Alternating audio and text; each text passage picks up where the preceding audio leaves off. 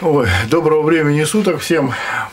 Сегодня э, я не буду снимать влог, потому что по поводу влога у меня там какие-то вопросы накопились. Я решил э, снять целевой. То есть люди попросили, ну, как бы люди сделают мне замечание, что э, они хотят видеть целевые, целевые ролики, которые бы были интересны разным людям. То есть, ну, не специалистам, про специалистов я молчу, а просто для общего а, развития, так называемые научно-популярные ролики. Вот. Сейчас в 15 минут я попытаюсь уложиться вот, по поводу устройства систем безопасности. А, все вы видели, наверняка, вот просто наверняка все видели и замечали на потолке вот такие вот штуки. Вот, они ну, сейчас модно подвесные потолки, они либо вот так торчат, либо вот таким образом сделаны. Вот, вот это заводской защитный колпак. Вот. И он, ну, их массовое производство, они бывают совершенно различных конструкций. Вот. Это называется датчик дыма или дымовой датчик. То есть датчик, реагирующий на количество дыма э, в воздухе, в воздушной среде, где он установлен. Значит, э, как он работает? Вот здесь у меня есть несколько образцов. Вот. Вот они, видите. Вот. У всех у них есть вот такая камера, вот такая. Вот. И вот такой вот, э, может быть, подстроечный резистор, который чувствительность э, выставляет. И обязательно вот такой вот где бы его показать, вот светодиодик вот такой вот. Э, значит, светодиодик, он либо промаргивает, либо э, он промаргивает, если у него есть функция контроля, либо просто висит. При любом раскладе, то есть когда вот сюда попадает дым, этот светодиод начинает гореть постоянно ярким красным светом. Вот. Значит, он устроен, я не буду вдаваться, так как передача научно-популярная, я вам а, объясню, что он устроен по принципу дистанционного управления телевизора. То есть вот дистанционкой вы тыкаете программу канала, инфракрасный луч отправляет импульс, летит в сторону телевизора или там отражается от стен. Вот, летит в сторону телевизора. И вот это количество импульсов, приемник, фотоприемник, который стоит внутри телевизора, он их подсчитывает и вам переключает, там дает команду переключить там 101 канал. Вот. А здесь, здесь, внутри находится оптронная, сейчас покажу. О, если будет видно, вот, вот так вот. Вот, видно, наверное. Находится, вот, я их разломал тут, разобрал, вот находится вот, вот эта камера, она вот так вот сложно устроена, вот, видите, тут циркулирует, ну, дым сюда попадает и отражаются импульсы.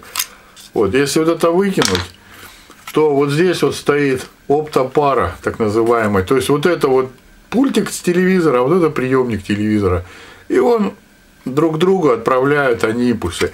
В отличие от телевизионных каналов, у него задача не переключать ничего. У него задача контролировать вот это, блин, вот это расстояние, то есть внутри камеры, вот это расстояние. И таким образом, вот, допустим, э, я говорю за российские системы, ну там, я думаю, СНГ и Украина это то же самое все, то есть стандарты примерно одинаковые. Вот, даже я бы сказал, и зарубежные стандарты примерно одинаковые все. То есть раз в 9 секунд то есть какое-то время он сюда отправляет импульс. И когда импульс доходит, он вот здесь вот микросхемки, они все это формируют сигнал, что все в порядке. Вот. Э, что происходит еще?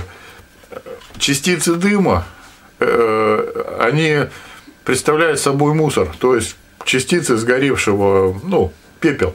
Вот. Поэтому иногда Э, вот эти вот дымовые датчики срабатывают сами по себе от чего? От пыли, просто пыль.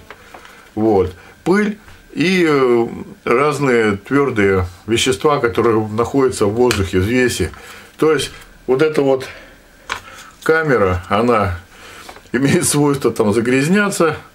Вот эти вот светодиод, это фотодиод, фотоприемник и фотопередатчик, они имеют свойство тоже там покрываться окислами, различными пленками. Вот. Все они одинаковые, вот это разные совершенно покрываться, ну и происходит самопроизвольное срабатывание. То есть их вот, допустим, их там море. Вот такие вот они всякие разные есть. Вот. Значит, что еще интересного? Э, вот э, пары эти сработали, все, и он дает. Значит, еще интересно, э, вот я несколько лет, вы не поверите, просто несколько лет монтажником отработал, я не знал. Вот, пока мы с товарищем более опытным, ну, будем так говорить, более умным, не встретились, и он не углубился в эту схему. Мы собирали, да и все. Нам прораб сказал, мы собираем. Вот. А сейчас мы как бы сами инженеры, ну, теперь приходится нам шурупить. Значит, смысл в чем? Все, ну это для мужчины больше, наверное, чем для, ну, для всех скажу. Вот здесь вот есть цифры, цифры, и по этим цифрам эта штука подключается. Вот. Значит, ну розетки я выкинул, ну вот вот розетка. Вот так вот он снимается совершенно просто. То есть, как розетка, называется розетка. То есть, вот, вот так вот раз. Фокус-покус. Вот это вот контрольная лампочка. Значит, я хотел про подключение сказать. Двойка здесь стоит, это плюс. 3, 4 это подключение минуса в разрыв. Для чего это сделано? Это сделано для саботажа. То есть, если вы правильно расключаете, плюс идет провод и 3-4 в разрыв, то есть, когда вы кто-то снимает, ну или вы сами там снимаете, пульт это распознает как аварию и срабатывает. То есть, может сирена, может быть просто там, ну, в зависимости от того, какой пульт. Вот. И еще все ну, большинство мужчин, наверное, или там, я не знаю, женщины, которые там разбираются, техническое образование имеют какое-то, вот, они думают, что вот если вот эти сработали светодиоды, то он разрывает как-то. Здесь нет никаких реле, обратите внимание. Нету механических разрывателей, ничего нет. То есть э, происходит, оказывается, падение между вот так вот я нарисовал по-простому. То есть вот это у нас плюс, вот он, плюс, и второй контакт соединяется. Вот это у нас нижний минус. И 3-4 в разрыв. Так вот, все думают, что он как-то там рвет, что-то ломает. Нет, он делает, сейчас нарисую, между вторым R.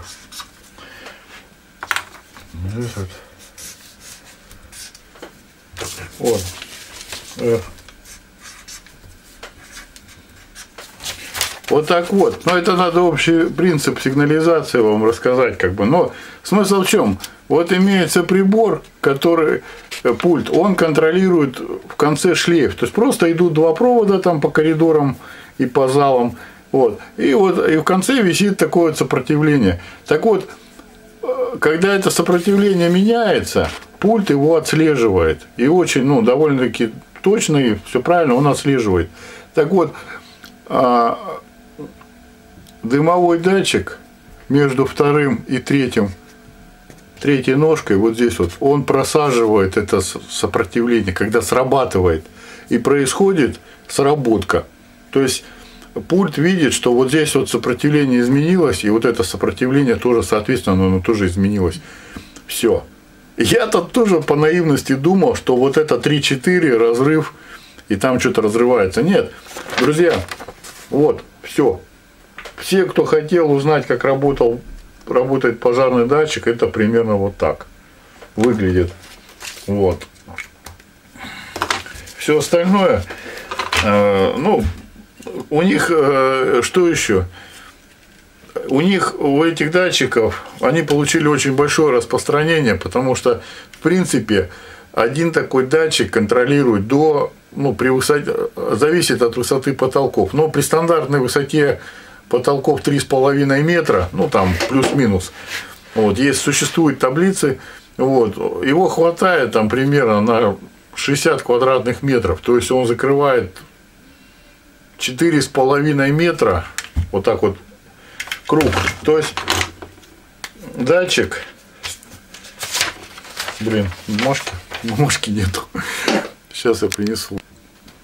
Вот, значит, когда устанавливает, вот он 4,5 метра диаметр, вот этот круг, вот, он, ну, по СНИПам, то есть это проверяется все в лабораториях, там везде. То есть он вот это, на этой площади э, контролирует, то есть возгорание.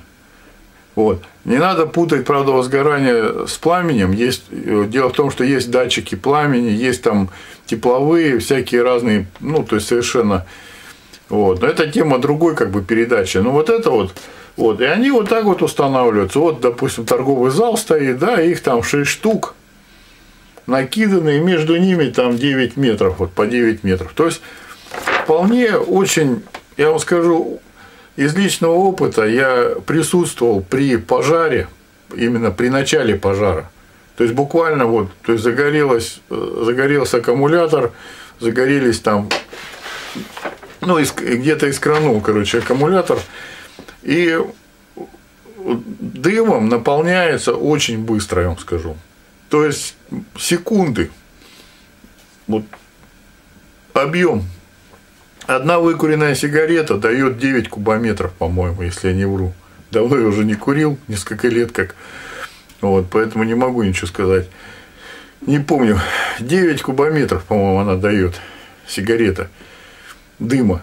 Вот, либо 4. Но смысл в том, что э, посчитайте, вот вы сидите в комнате, то есть вот тряпка загорелась, а это в тысячу, ну, там, в сто раз мощнее, чем сигарета.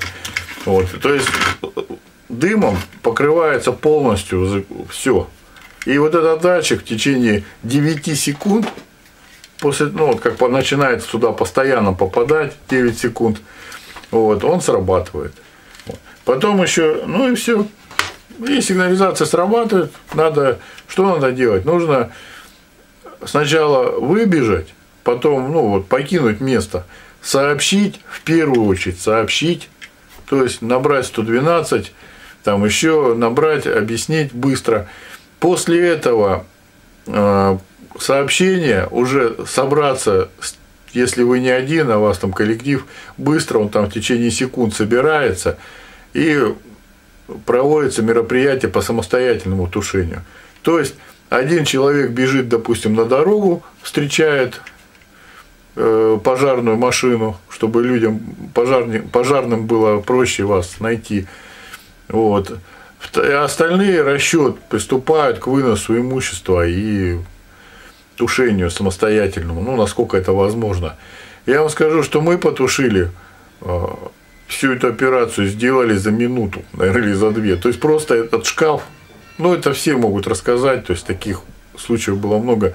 Просто шкаф, либо содержимое шкафа за секунды выбрасывается просто на улицу. И все. Вот. Убытки от пожара, они колоссальные. Потому что все думают, что э, э, вещи, там сгоревшие вещи, да это фигня, но сгорел у вас там диван, ну выкинули вы его все. Когда он горел, он засрал все стены, полы, все. То есть квартиру надо полностью, и запах этой гари будет там вечно. То есть колоссальный придется делать ремонт, короче, заново полностью. Вот представляете, сколько стоит современный ремонт. Вот. Поэтому живите хорошо, счастливо, радуйтесь жизни, и все у вас будет хорошо. И следите по сторонам, то есть не забывайте выключать свет, вот, электричество смотреть. Вот. То есть основная причина возгорания – это халатность. То есть человек захотел, бросил там СВЧ-печку, там еще что-то, и все это происходит неожиданно. Все думают, что никогда этого не случится. Ребята, все бывает, и палка раз в году стреляет, или там раз в жизни. Поэтому Всем всего хорошего. Вот, будьте внимательны и внимательны к своим родственникам, близким, следите за друг другом, чтобы у вас все было хорошо. Кто-то забыл что-то выключить, пойди тоже за него выключи. Не дай бог что. Все, всем пока.